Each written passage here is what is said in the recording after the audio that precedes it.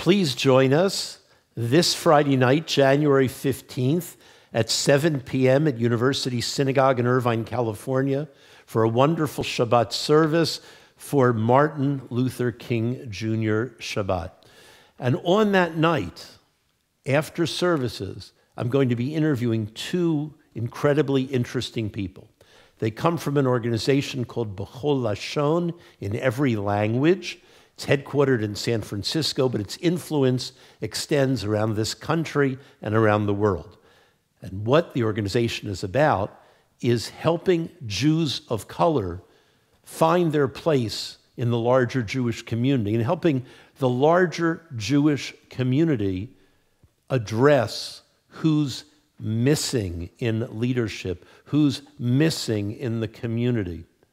Somewhere between 6% and 12%, perhaps more, of American Jews are Jews of color.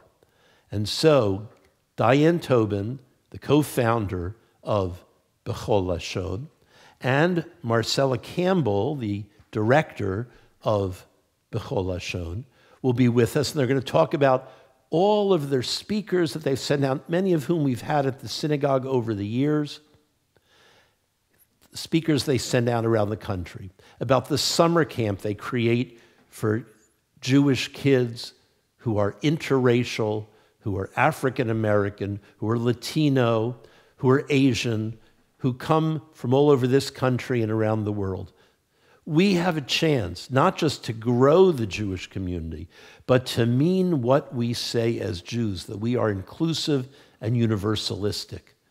And we have to open up our hearts and our doors and windows to our synagogues to make a place for these people who will enrich our community as they've already done.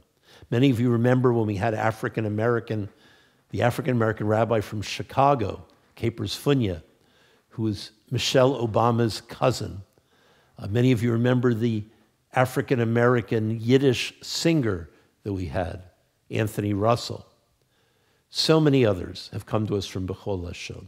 So be with us. Go to universitysynagogue.org on Friday night, January 15th at 7 p.m. Click the orange button and join us for Shabbat services and learning about Jews of color. Litraot. See you then.